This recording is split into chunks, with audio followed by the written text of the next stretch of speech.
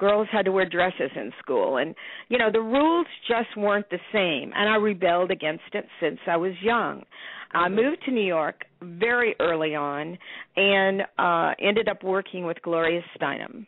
And um on a a tv show it was a pilot called woman alive. It was about women's issues. And as i began to uh not only had i been affected by it growing up and I and I I was talking to Hank last night about it. I said, you know, women have only been able to vote since 1919, the year that my father was born.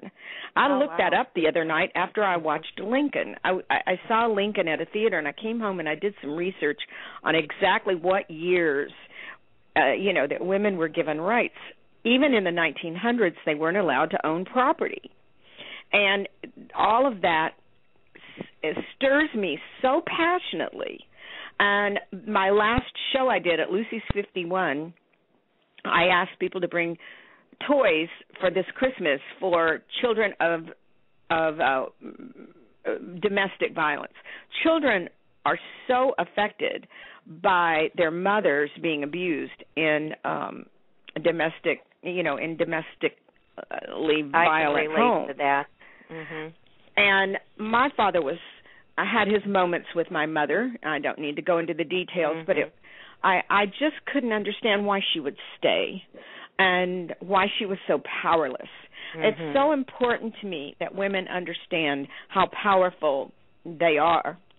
And I I was reading a, a something yesterday about um the these men in China now because the government had killed off all the babies uh all the, all the baby girls or put them Yeah. away or put them up you know I don't know what happened to them but they but they most families aborted any kind of if they knew that they were having a female baby Yeah. well now all these there are all these men and they can't find a wife there are no there are no women to marry Right. and and now the Chinese society is being greatly affected because they got rid of all the girls. I mean, it, it's like Exactly.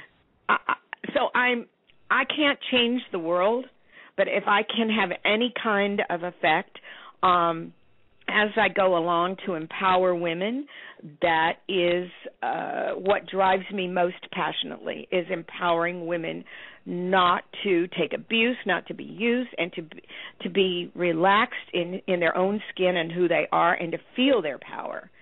It's that to me is more important than acting and art all of it is if I can have any kind of effect, you know, for women to feel their their power. And you know, sometimes I look at these new videos and women being so uh, you know, making themselves nothing but sex, sex objects. It Yeah. feels like we're going backward, not forward. Right. Right. And I I agree with you that women need to know that they have to educate themselves and not to count on anyone else and you are, you know, powerful enough to do that for yourself. When my mom got a divorce back in the day, she had no skills, no credit in her name, nothing. She had to start from scratch and I watched her struggle and that was very sad. And that was like in the 70s, you know, so it wasn't it, women weren't what they are today at that time. And she of course grew up, you know, in the the 50s and that. So um that was pounded in their head you know you you go to school you graduate you marry somebody you take care of your husband and your kids and you're a homemaker and that's it for you Right. Right. My my mother took uh, um took verbal abuse mostly from my father that I was I was just astounded that she decided to stay through all of that and and Mhm. they never did divorce but she, he after he passed on she married a man that was so loving to her and I think she finally saw I think her regret was that she had wasted all these years letting somebody not be nice to her, you know. right. But um one of the fears that I have with the social media uh thing is that um um my gr- a lot of my girlfriend's children um are thinking that they're working when they're on Facebook or on Twitter. It's become uh, are are they becoming uh, famous or something through Facebook or Twitter mhm uh, mhm. from the social media and they're not they're they're uh not going they're not getting educated like it was driven uh, an education was emphasized when I was growing up. Exactly. And yeah. in the 60s and late 60s, 70s, 80s, it wasn't a question. You went to college.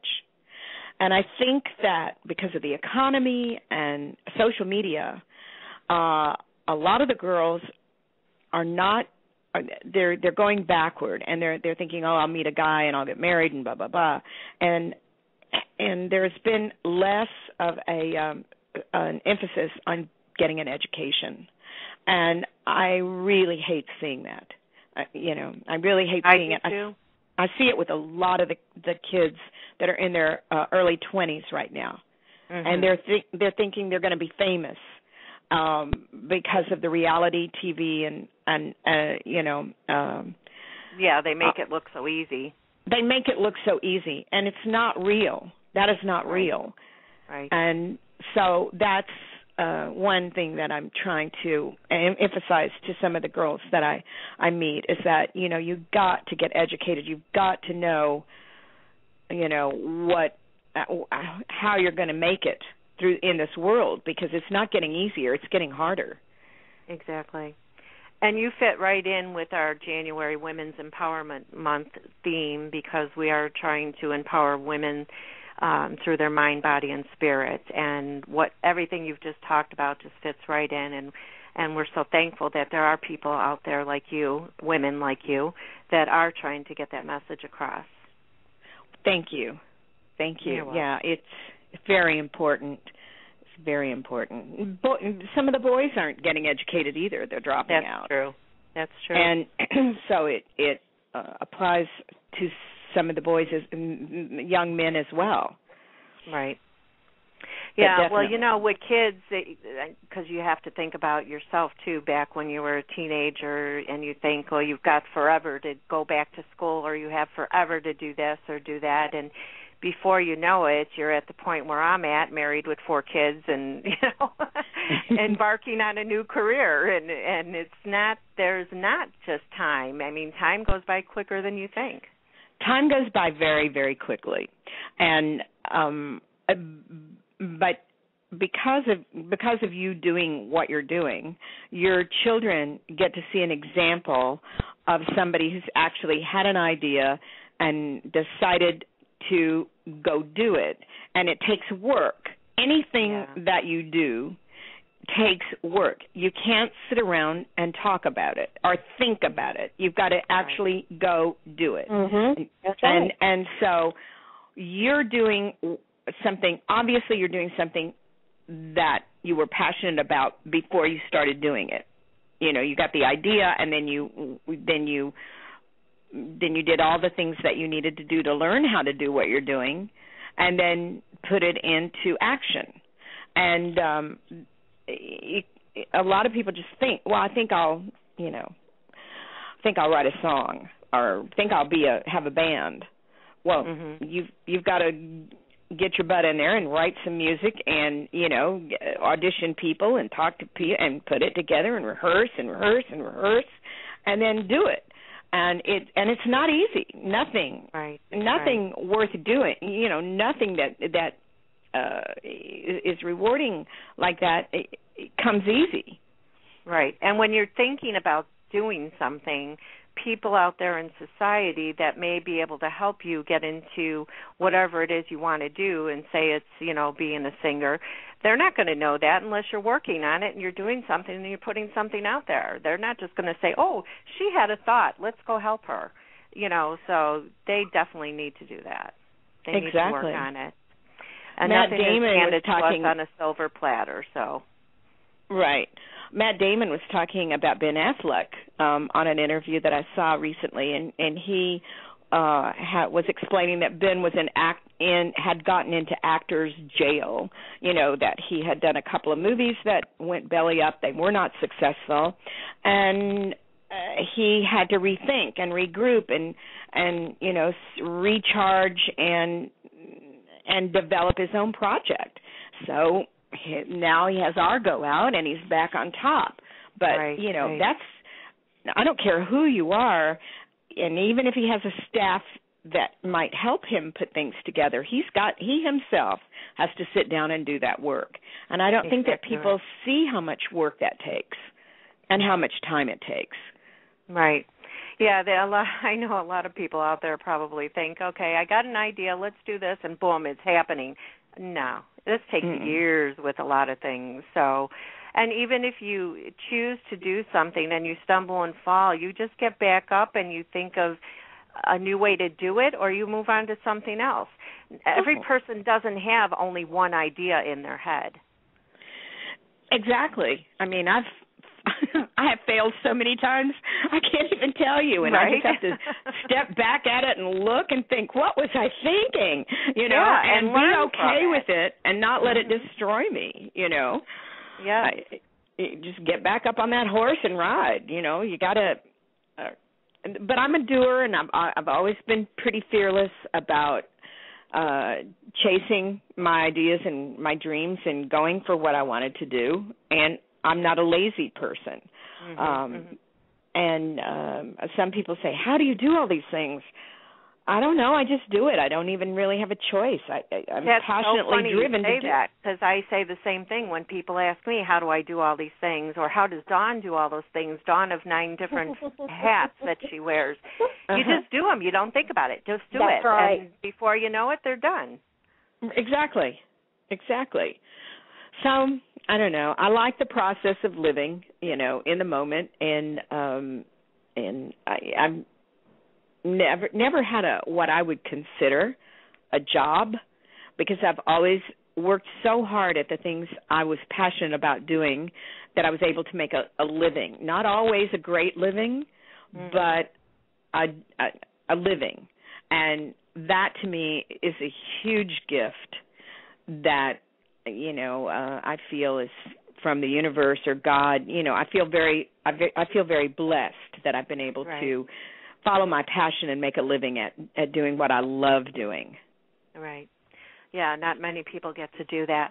And I'm proud of Dawn because Dawn has embarked on getting her master's degree and at this time in her life and she works excuse me, she works very hard at doing that.